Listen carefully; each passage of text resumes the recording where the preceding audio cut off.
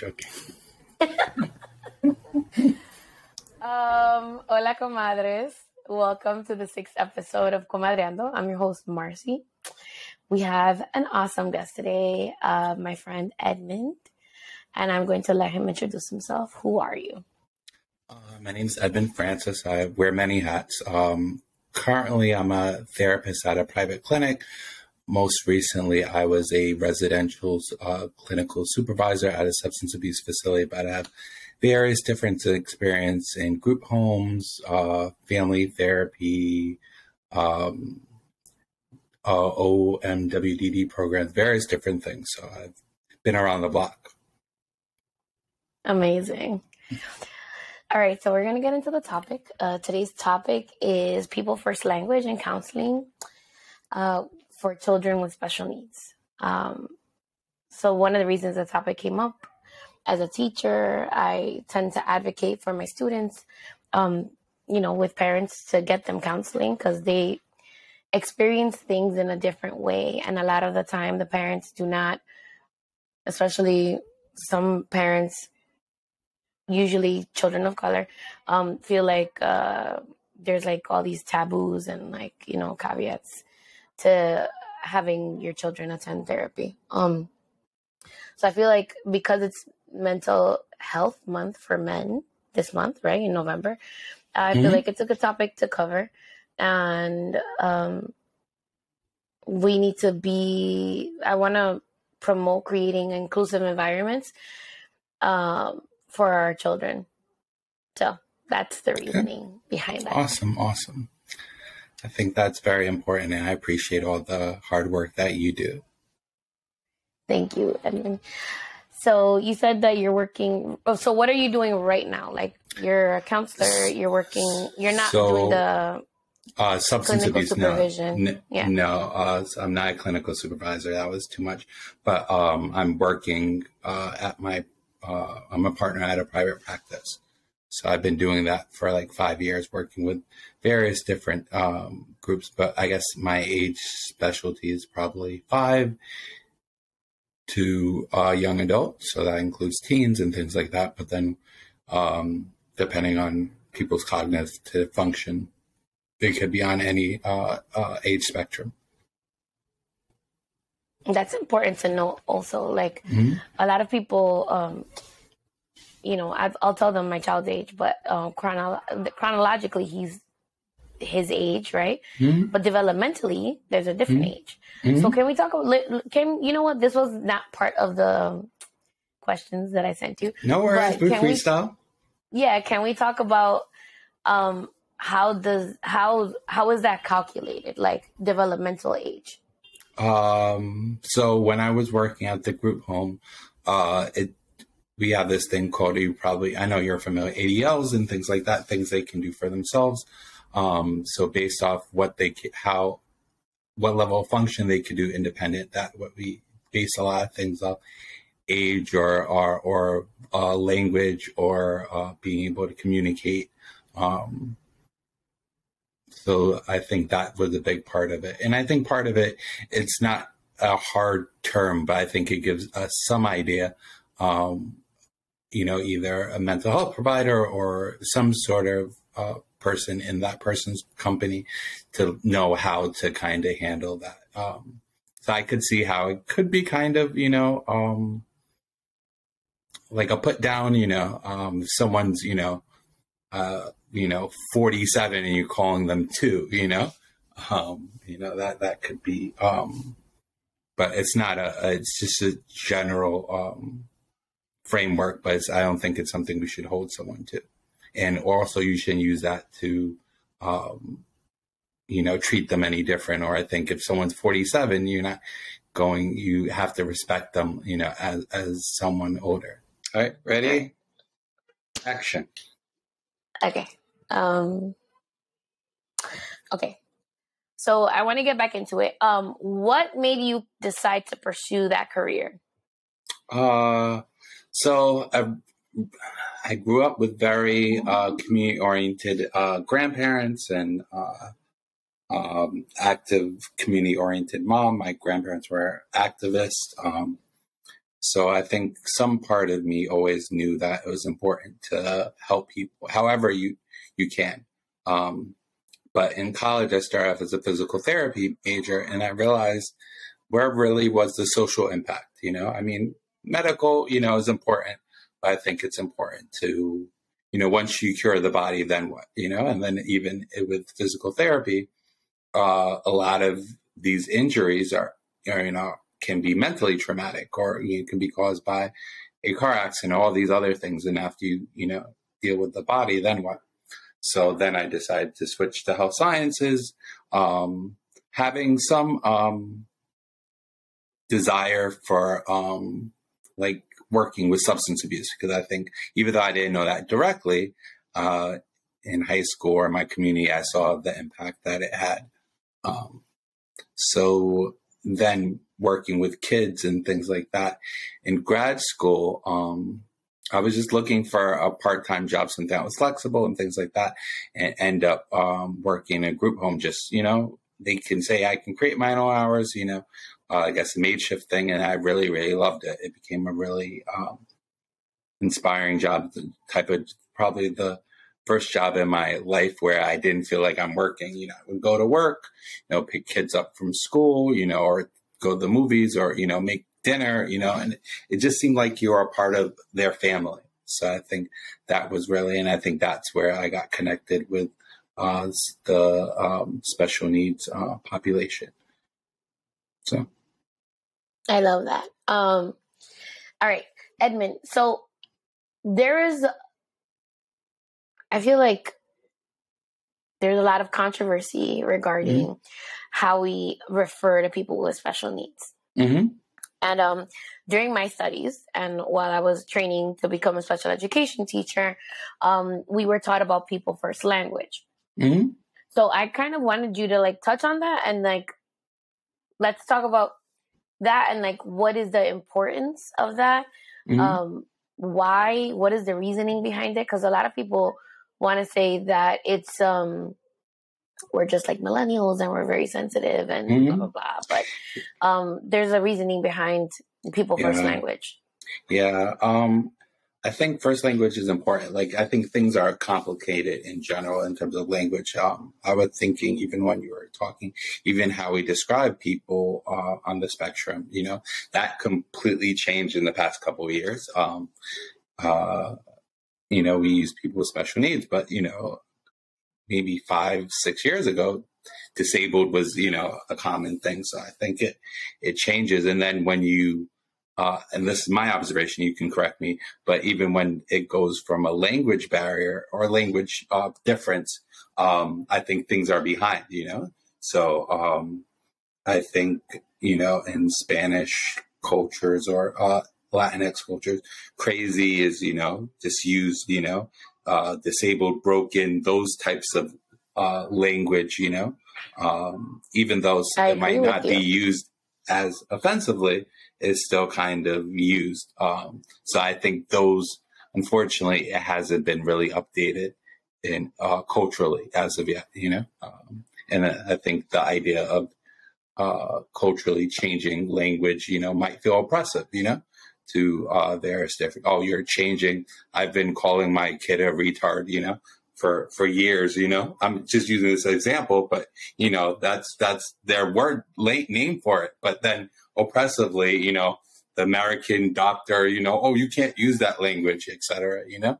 Um, uh, Can I interrupt you? Of course, so I, I, said like that for emphasis. When, no, yeah, I was like, I cringe when when like people who are not watching the video, my ba- like I literally my whole body like tensed up when mm-hmm. I heard the word. Mm-hmm. Um, it was a word that we grew up saying. Remember, mm-hmm. like we yeah. were like we're around the same age, mm-hmm. and we grew up saying that word, um, and it was used as an insult to another person.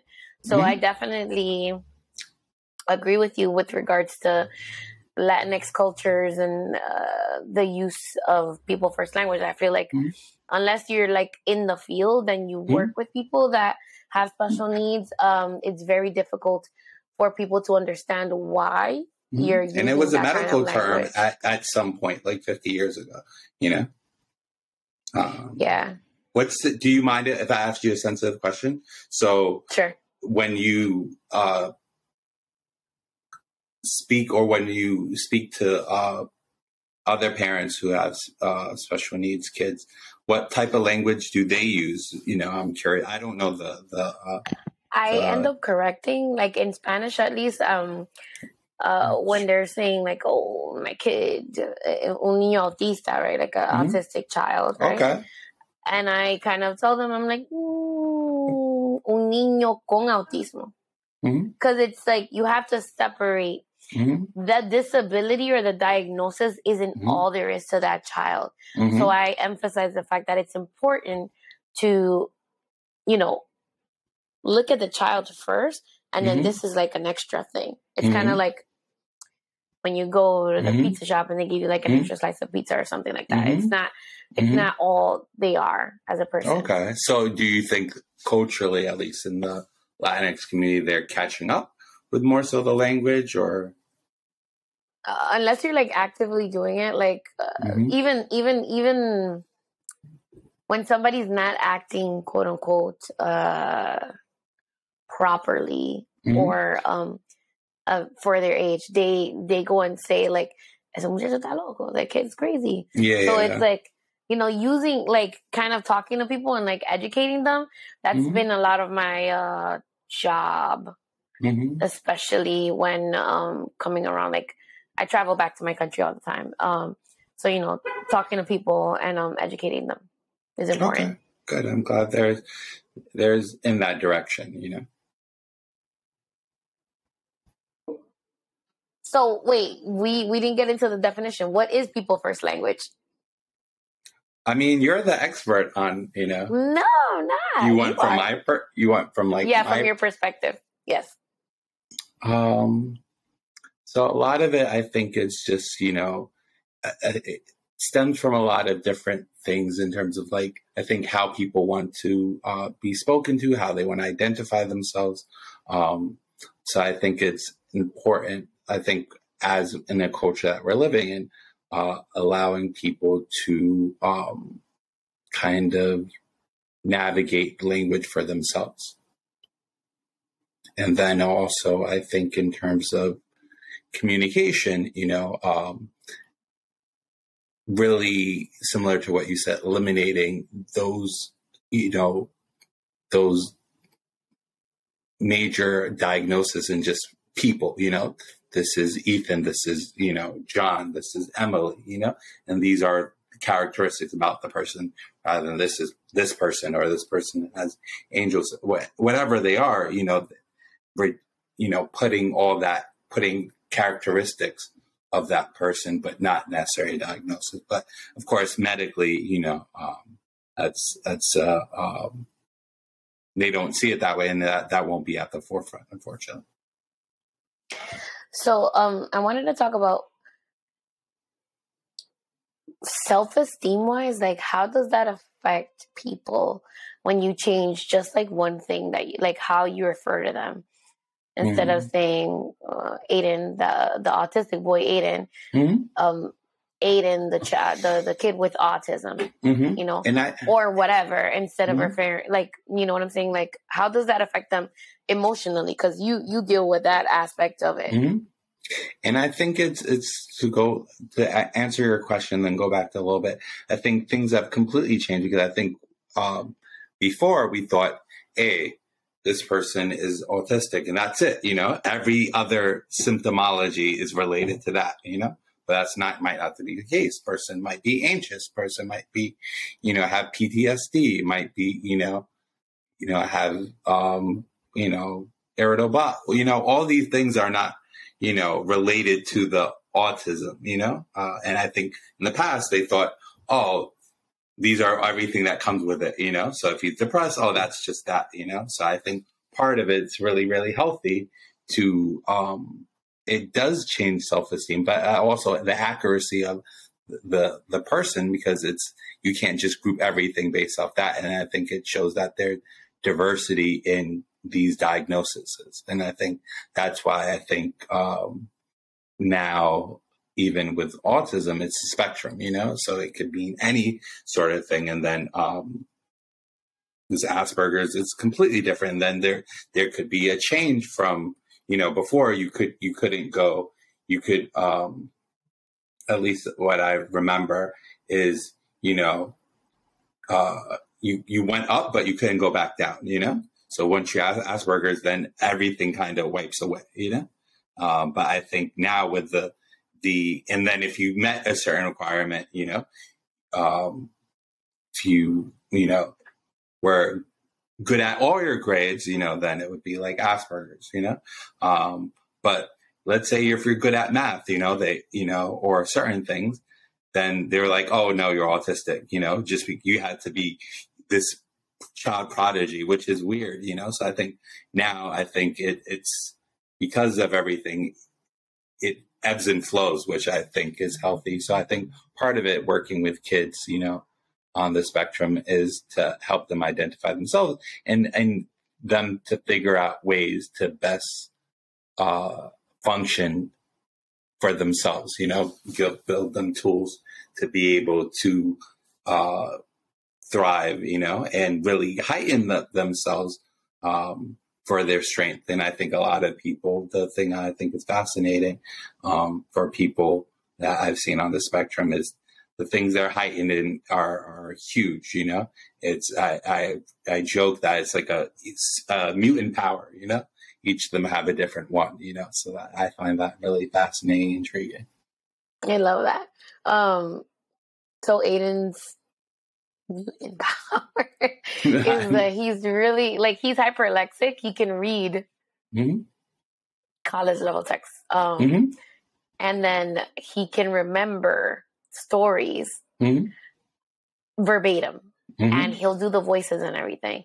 And like his new thing is now that he dubs, he'll put an episode of a cartoon and then find audio that matches. Mm. So he'll re record a new video with the dubbed audio. See? Does that make sense? Yes, I, I, I and I nobody might... taught him audio editing, and it, and like most of the things, the thing, the audio he picks always makes sense. Like mm-hmm. when you look at the video, it completely makes sense to what mm-hmm. he's recording, which is amazing. I'm just like, yeah. who taught you this? I and, like, I'm learning. It's super skill, and it's learning, and and I think part of it, I think societal, is how we can use those skills, you know, to build him a super successful, promising career and I don't think society really shapes things that way. I agree. Okay. That was amazing. Um so how do you what what is your type of therapy? Like how do you work with your clients? Do you do like talk therapy, play, or do you do um, other things? So when I first started working, I was contracted through ACS, and we were doing family functional therapy, which uh, is a makeshift of CBT, DBT, a lot of other things. Um, I have some experience with um, with um, motivational interviewing and things like that. When I worked in group home, um, it was more hands on, you know. Uh, you know, addressing feelings, things like that. Just because I think a lot of times, you know, you can go to all these schooling and things like that. But what do you do if you know someone's um, cognitive or, or, or language, you know, is di- is um, is a difficult challenge for them, or or a language barrier? You know, you you really can't all the fancy metaphors, you know, the processing, you really have to throw that out the door. So I think it's really about, um, especially with younger kids, putting things in various tangible forms, you know, um, either stories, role playing, uh, videos. I think with kids, you have to kind of hit them at all fronts. So if it's not, you know, it's also it's it's uh, repeating things, uh, visuals, uh, games, you know, all these things to really um, kind of stress you know what you want to teach them and one some might stick some might not but i think the goal and whatever that is they get hey you know um, hitting is bad you know or they get it in some sense without using that for example or if they um, you know when I'm mad, I'm to breathe five times, you know? So however they get that from the video or pictures or things like that, though some part of it will stick. Yeah. The, the, when I come up with behavior plans for the kids, it, it, it sounds silly to some people because they're like typically developing, but it actually works. So like, you know, teaching them, for example, my son actually, we were having issues when he first transitioned into junior high school that um, he was getting a little um, aggressive um, mm-hmm. with the te- not even the kids, the teachers, mm-hmm. and um, and that could be medical, hormonal, all these things, you know. So that's that, the thing. That's, like he's mm-hmm. like going through his body is mm-hmm. 13, right? Mm-hmm. But then the rest, he's developmentally, he's not there. Mm-hmm. But um, it was kind of like coming up with a plan for him like a little checklist every day. We say it in the morning. It's kind of like our little mantra. Like we keep our hands to our, and then he finishes it for me. Okay. and and we if we need a break, we ask for one, and mm-hmm. our phone goes in our backpack. We use our, our computer for schoolwork, mm-hmm. like all these things that like people won't like usually think about. Like you have to like learn how to work with the child and like give them uh, options and tangible things that they're going to actually respond to. Because the mm-hmm. thing is, like, I don't know if you heard that one of the first episode we were talking about introducing religion to kids with special needs, and mm-hmm. and you know, I'm I was conflicted about introducing religion to Aiden because he is a very literal person. Yeah, so yeah, a lot of the nuances in the language and the things that you're teaching via religion mm-hmm. um, kind of get lost. Mm-hmm. Not lost necessarily, but it's kind of like, yeah. How do you explain that to that child? Mm-hmm. And its feelings. And I think some things they get, you know, so like even the call and response, you know, I think that's really important. And I think where does that come from? It's come from, you know, um, African ancestry roots, you know, culturally. So I think in some ways, I think the, the blueprint in terms of that's the way that we teach various different people comes from, you know, our uh, spirituality or even church, you know, that feeling of, oh, everyone, you know, you can even say with, how did you know I was going to say such and such, you know? Because it's a feeling, you know, and then you can, he can expand on what that is, you know? Is it, you know, God? Is it whatever? Is it, you know, intuition? Whatever it is, you know? Um, have him kind of get in tune with whatever those internal things that he might not be able to explain, you know? How do you, like, for example, he he probably, I know you're a loving parent, so he knows what love is, but is that something we can necessarily tangibly, you know, put our finger on? You know, no, but I think in some ways expand off things he does know and, you know, build up from there. Yeah, so I was talking about how um, I'm just teaching him to be a good person, like for goodness sake, not because you have this fear that somebody's gonna you're gonna burn perpetually. Mm-hmm. Yeah, in yeah. hell. Mm-hmm. but um, yeah. So, what are? What, can you give me some like anecdotes from? Obviously, you're not to use names. Mm-hmm. Um, situations that you've been in that you've had to like kind of because I know you've worked you worked in residential programs, yes? Yeah, for a long time. So, manager, yeah, all these things. Yeah, supervisor. So, what what kind of situations did you have to deal with in the in the center? Uh, you mean the most extreme, or or just like things that just would come up that a lot? Kind of, yeah, things that would come up a lot. Because the thing is, like, a lot of parents. Okay, okay, wait, no. Before we get into that, um, mm-hmm. how do you work with kids that are nonverbal mm-hmm. in your sessions?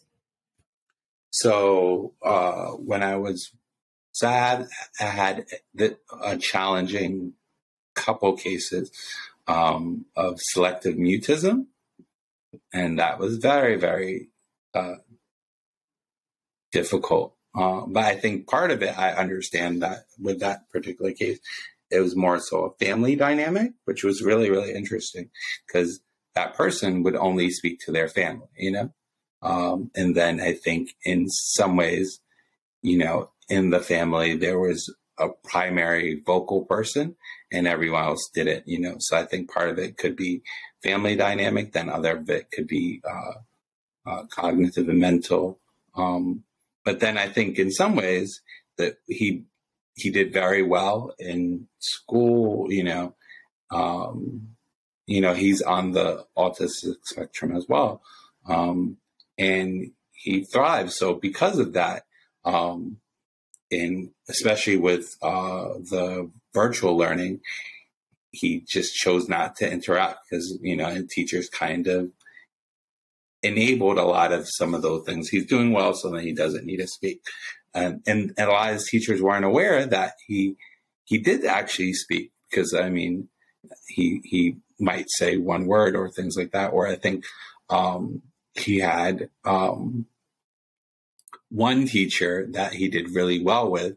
I think in like uh, elementary school, and she really pushed him. She, you know, maybe I'm not for her tactics, you know, kind of old school, but she would, you know, uh, have him stand up and speak out loud, you know, and wait, mm. you know, wait for maybe five minutes, you know, until he said one word. And then he would say two words or three words. And he got to a point where he eventually got to like a paragraph, you know? Um, wow, but then, that's amazing. But then, you know, the last, the two years after that, he went back to not being, you know, pushed, you know? So I think a lot of it it's it's it's understanding the root behind different things um, and then understanding um, uh, trying to work with them with what they can do. So what we did do when in things is you know we uh, played games and things like that. And there were even in uno like we played uno he did everything silent and then you know um, this is kind of a, a jerk move um, on my part. But you know, if he didn't say uno, he had to pick up two cards. So eventually, you know, um, he um, he had to, he started saying you know.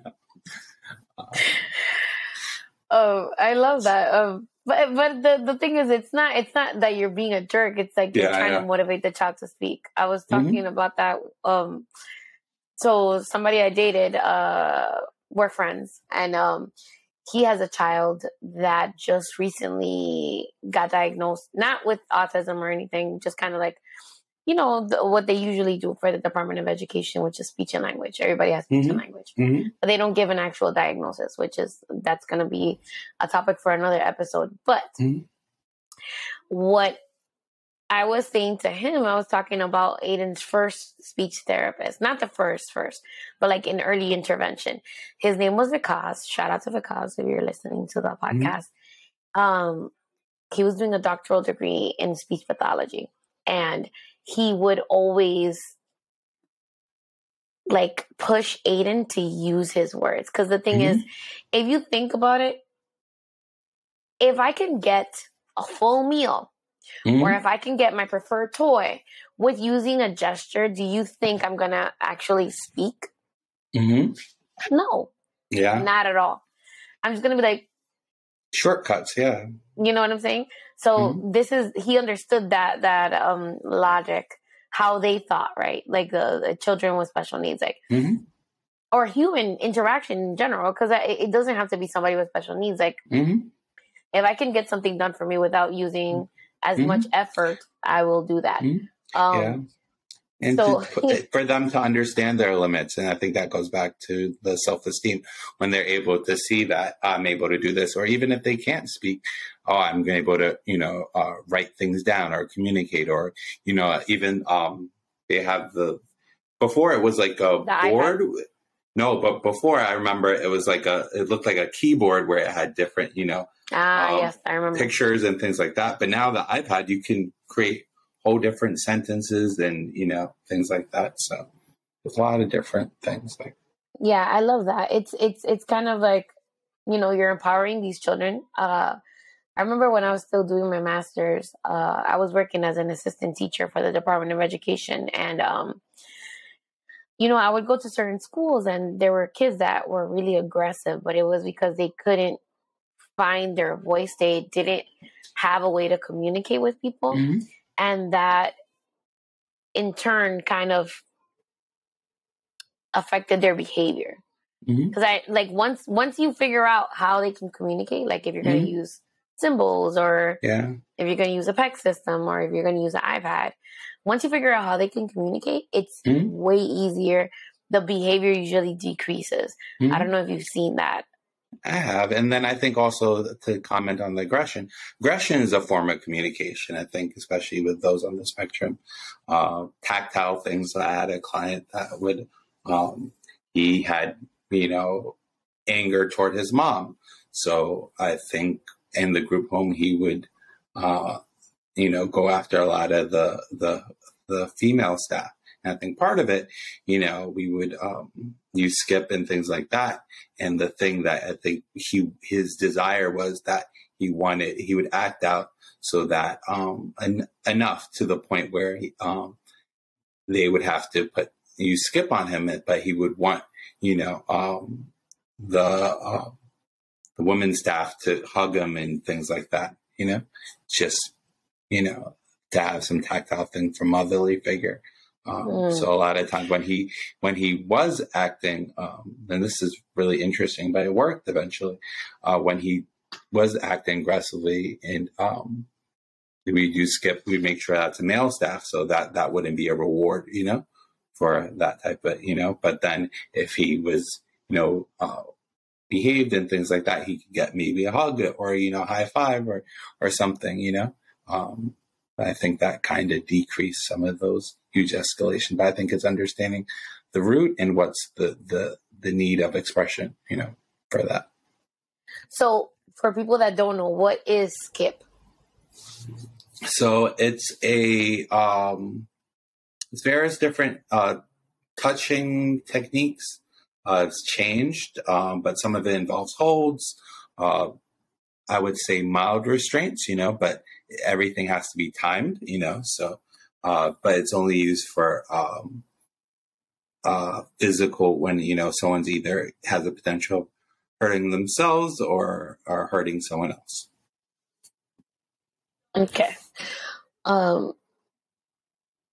I don't know. Like, I feel like you have so much knowledge. I just want you to kind of like talk a little bit more about other situations like you talked about one child but like other mm-hmm. things that you've dealt with mm-hmm. or something that a kid wanted to communicate with you but you know like people weren't really like mm-hmm. listening to them yeah does that make sense yeah can i talk about like a systematic thing also and as it yes. ties to that yes so uh one thing that i was um visitor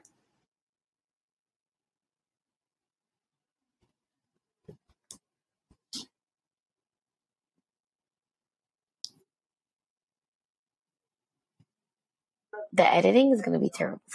no worries. All right, I saw it coming. Um, Sorry. So the one thing, this is a kind of a sad story. Um, so a lot of kids age out, you know. So when we spoke about age and things like that, um, so I went to school in Binghamton, which is a um,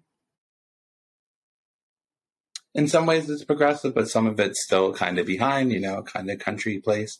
Um, the systems in there aren't really helpful toward, you know, people of color or those, there's not really advocates on for people uh, with, who are on, on spectrum or special needs. So I had a, uh, a client that he would become aggressive pretty often, you know, but again, he was a softy. I think a lot of times um, he was sad, depressed. Um, you know, his family would, you know, say they're visiting him and, you know, won't, you know, uh, he would spend uh, holidays, you know, alone, you know, because um, his family, you know, kind of lived in a trailer park. They were, you know, mm. uh, you know, most likely, you know, they had some substance use, drinking use. Um, so I think the reason they they weren't responsible parents. Um, so I think a lot of that he, he, was angry toward that. So a lot of times, um, one, I mean, and he was very high functioning uh, academically. You know, had challenges. Um, but I remember in interacting with him.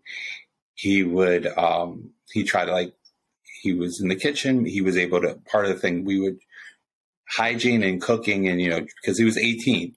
Um, so trying to teach him, you know, and then he got angry at something that happened at school. And then he like held, you know, held a knife, you know, whatever. And I mean, part of me de-escalated the situation. Um, but knowing him, you have to know who he is and his root and, you know, the extent of his behavior and nothing, um, no part of him is ever aggressive, you know? He's, I mean, he's, I think he was like six four, maybe 340 pounds, but physically, you know, um, you know, maybe, but again, I didn't take him seriously. And, you know, I said, Oh, you want to go for a walk? Go over, blow out steam. I let him walk a mile on his own, you know, and he was fine. So the thing that I found out, I, even though I stopped working at the group home upstate, I try to keep tabs of a lot of the community, you know, people graduate. So he was in an independent, you know, home living on his own, doing okay for a while. Um, but I think he got caught like stealing. Um, I mean, normal, you know, uh, young adult. I think he was at 21 or so. Um, so he became aggressive. You know, of course, he was defensive and things like that. Cops were, you know, I he was yelling and the cops were aggressive back and he became, you know, uh, uh, according to them, hostile. So they arrested him and um, I think he got into some sort of pushing match. So he ended up um, serving time, you know, without any, um, you know, mental health leniency or anything. So that that broke my heart, and a lot of that, I think the system really has to understand you know, where the client is and where he's coming from and his background. And, you know, is, they, they should have just done a simple, has there been a history of any violence? No. You know, his parents should have been there or they could have, you know, gotten um, history of the, you know, his experience in the group home or, you know, what was really bothering him. You know, they, I think they yeah. didn't do any sort of psych evaluation, you know, until he do was, that. yeah. So they just react because the, they see a a, a big person, a mm-hmm. person of color that is tall, and you know, he wasn't a person a big, of color, but I mean, even but you can only right. imagine how it would be, you know. I don't even want to like. Yeah, yeah, that's a different. so, you know, you they see a big person. Uh, mm-hmm. a, he looks uh, looks like an adult, mm-hmm. and um, they just kind of hold them to a different standard like instead of like thinking like mm-hmm. and that, that that's not not only just for kids with special needs but people that are having psychiatric issues that mm-hmm. need to be handled mm-hmm. um i'm i'm like you're you were saying that and i'm thinking back to i don't know if you read the article but there was a a guidance counselor that kind of basically acted like a human shield between him and and his his client who was a person with autism mm-hmm. and basically basically sorry i'm like laughing out uh, basically like they like he avoided the child getting shot because mm-hmm. he was able to be there for them mm-hmm. but like how many people are like taken into custody Mm-hmm. and they're they aren't giving that full yeah. psychological evaluation. Mm-hmm. And then the in- level of independence, because someone with special needs, do they deserve to be not in an institution or not have the ability to be independent? No. So that's the thing. It's like you know they should be able to live fruitful lives. You know, have a hiccup like everyone else. You know, how many you know 20 year olds, you know, or 21 year olds got in trouble for stealing or drinking, whatever, you know, a lot, you know, but doesn't that doesn't mean that they're it's the end of the road, you know. So they should be able to make normal that. mistakes. Um, I don't know if you follow the El Salon Chronicles, which is like I'm under their network, and um, one of the girls that is on one of the women rather mm-hmm. that is on there, she is a counselor as well, and she was discussing how how like all of that like goes down and and she actually works with the police department so when when when there's a situation they call her in and that's basically her scene right she's mm-hmm. the one that is sending people to do things or not do things and mm-hmm. all of that and then once she can de-escalate the mm-hmm. situation mm-hmm. then they go in that's in the city Yeah. I mean, So I, think- don't know if it's in. You know what? I'm actually going to get back to you on that. I Okay. don't. I don't know if But it's in I- the city. I think a lot of its resources, the city does have a lot of different things. But if you take a small town here or there, they don't have those resources. So all those things, you know, fall by wayside. I think the severity of, you know, people or uh, cases where there's more incidents is because there has been no um, support, you know, throughout the year. So someone might not get, you know, uh, I had someone, he was 15, didn't know how to walk, to speak, you know, um, but his family lived in the middle of the country and, you know, he, um, yeah, he would eat his clothes, eat his, you know, anything he could. So they would put him in like a, a like a kind of a jumpsuit, you know. Uh, he was uh, again really big, you know. I think he was like six four, two forty, um, and they basically created part of his room into a cage. You know, I think they were when he was in the group when he learned how to sit on the table, you know, kind of walk upright, you know. But again, by the time he was 15, you know, um, you know, he didn't know how to do those things. But I think speaking to the parents, they they saw that he could be a harm to them or a harm to, so they try to do the best that they can, you know. Um, you know, so I think in some ways it, you have to give people the tools, but if people don't have the tools, then you know they they unintentionally didn't do inhumane action.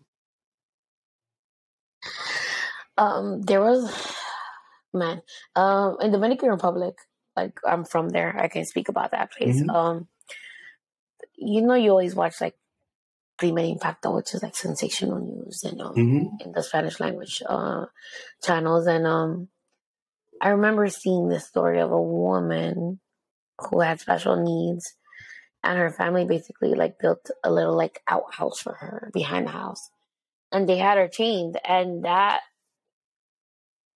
messed me up so much. I was this was before I had a child, Mm-hmm. and I just like think about that kind of thing, and and and it's like.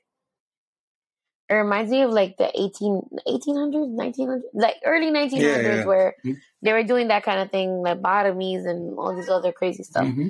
and it's it's it's just there has been a lot of progress but i feel like it hasn't been enough Mm-hmm. If that makes any sense Yeah, for sure. Resources and knowledge. And, you know, so I think luckily, you know, podcasts like yours, you know, you give people, you know, the skills or even um, the direction to do better, you know, for themselves and their kids. So, yeah all right guys we're gonna wrap up the conversation um as always you know that i am recording with riverside fm uh follow me at comadreando pod on ig and you can follow edmund at drop your handle uh, Midnight EMF 3 or Positive Therapy at IG, but still wait working wait on can you that. spell the positive therapy one yeah. P O S I Therapy, T H E R A P H Y. Amazing. I didn't know you had that. That's awesome. Yeah, still in the Um, works. Good. I'm Mhm. so proud of you. Mhm. Uh, if you have any questions at all, please feel free to send me a comadregram. Uh, you can email me at comadreando at escthenetwork.com or DM me on IG. Um, what else? Thank you for spending time with your comadre and compadre. All right. All right. Thank you, everyone. Bye. Bye. Don't hang up.